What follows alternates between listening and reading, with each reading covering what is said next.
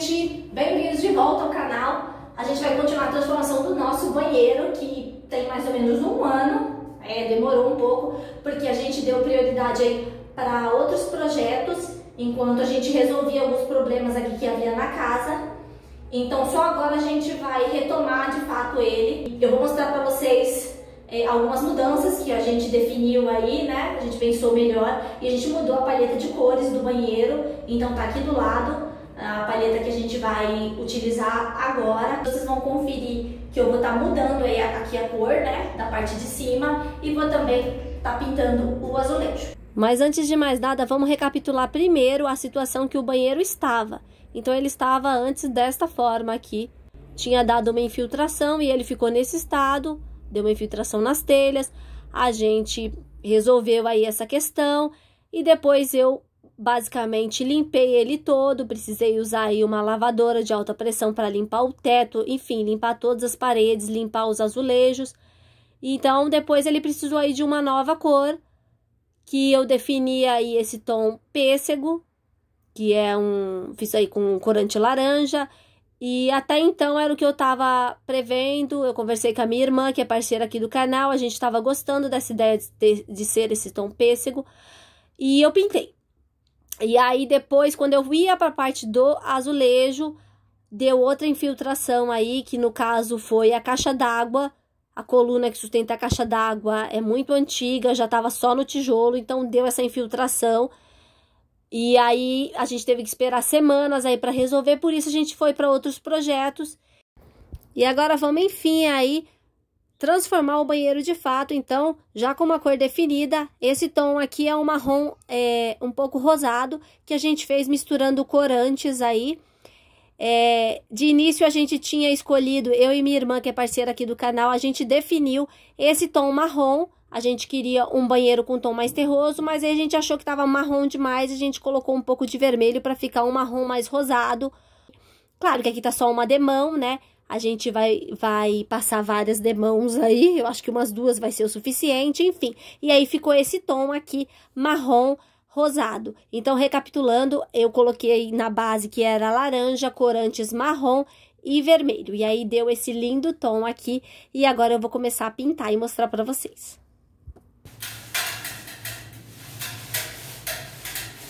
E ai, meu Deus! Tá laranjão. É a câmera, agora eu tô com medo. Mas a gente vai continuar porque eu já ferrei a tinta, então ou vai ser isso ou eu não sei. Vamos continuar. Deixa eu só mudar a câmera aqui, o ângulo, né? Acho que aqui fica melhor. Assim fica melhor, dá pra ver melhor. Vamos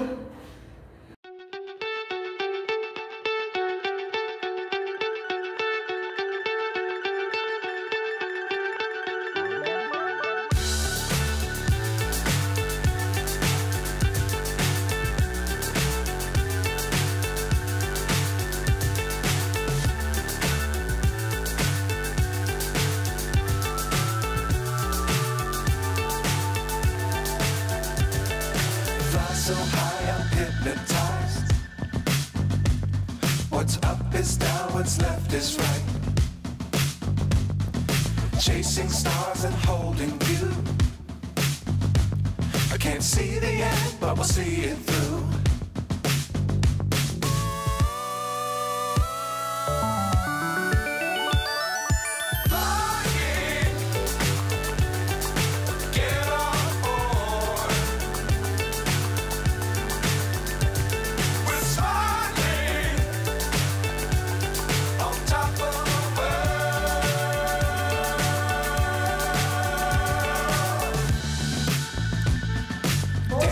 Tá? A primeira demão tá todo manchado.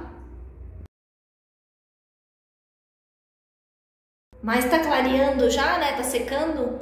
Então eu espero que fique da cor que eu testei. Ali no fundo fica mais escuro por causa da iluminação e demora mais tempo para secar. Então, hoje eu vou fechar aí alguns buraquinhos que de repente tiver no revestimento vou preparar ele aí pra, pra gente poder estar tá pintando com a tinta para azulejo. E vou estar tá preparando tudo e aí só amanhã que já tá à noite eu vou ver como é que ficou isso aqui e aí eu vou passar a segunda demão se a cor tiver realmente ficado boa. Gente, voltamos com o segundo dia de pintura e eu dei uma clareada um pouco, eu tinha um resto de tinta branca, acabei dando uma clareada aí. Eu já pintei essa parede e essa, daqui, essa de cá, essa de cá, é que minha câmera tá de frente, então essa de cá. Agora eu vou pintar essa aqui e vou mostrar pra vocês.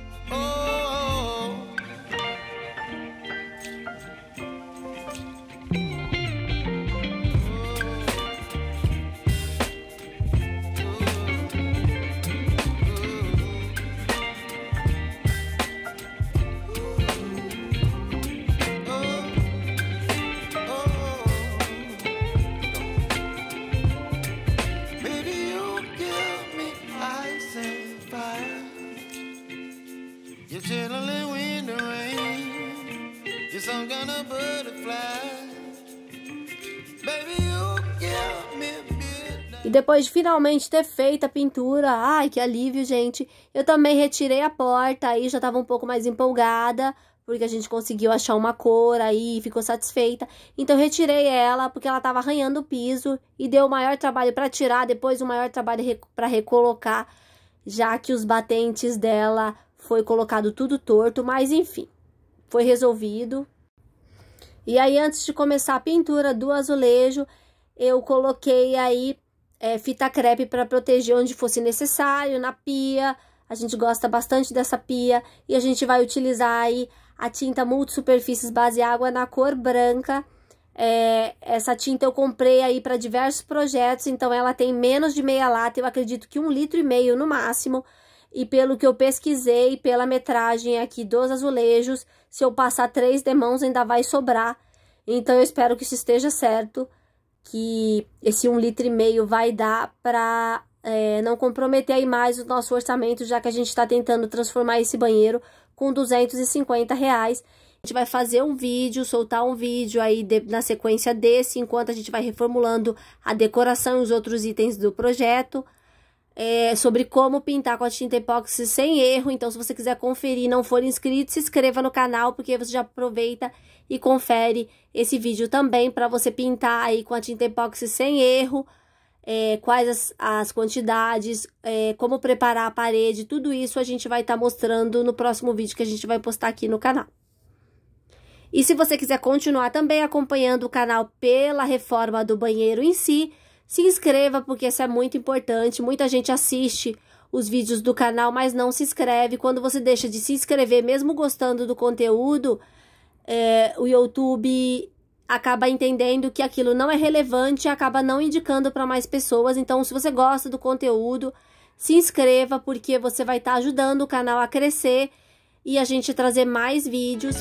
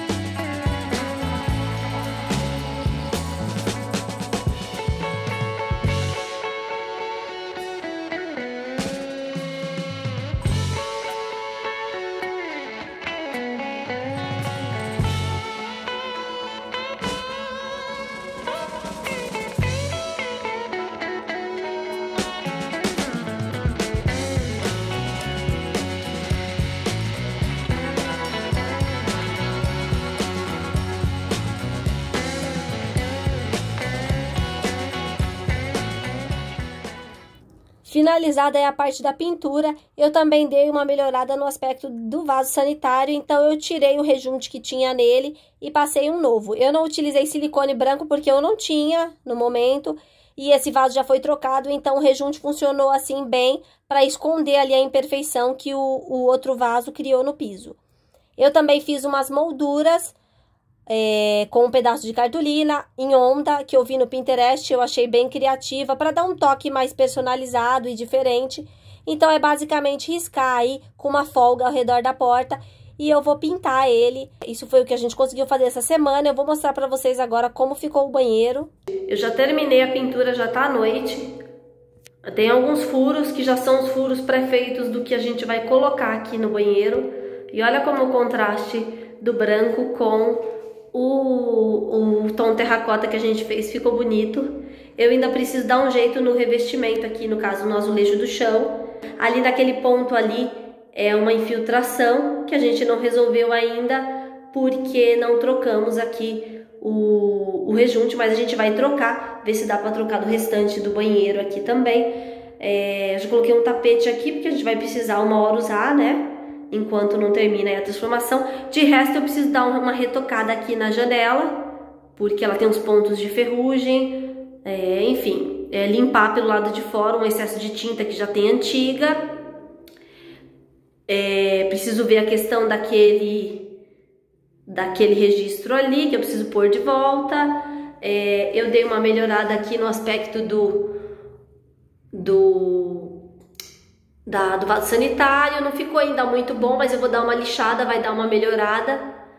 É, o chão tá um pouco sujo, né? Preciso dar uma limpada, mas vocês veem como o revestimento é bem antigo, então vai precisar ser bem lavado, tá vendo? Aqui ele encarde com facilidade, porque é bem antigo. Então, falta aí os outros detalhes da decoração, que eu vou estar tá mostrando no próximo vídeo. Então, só para vocês verem, ó, como ficou bem bacana a pintura no azulejo. O contraste ficou muito bonito. E aí fica faltando também o detalhe que eu mostrei para vocês da porta, que agora à noite não dá para ver tão bem. Mas é, no próximo vídeo eu vou estar tá concluindo também essa parte. E aí vocês vão conferir o vídeo completo com essa transformação do começo ao fim. E eu te espero no próximo vídeo. Até logo!